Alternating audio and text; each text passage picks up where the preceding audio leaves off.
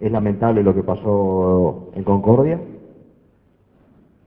Está actuando la CAF, así que dejemos que actúe y seguramente tomará sus medidas.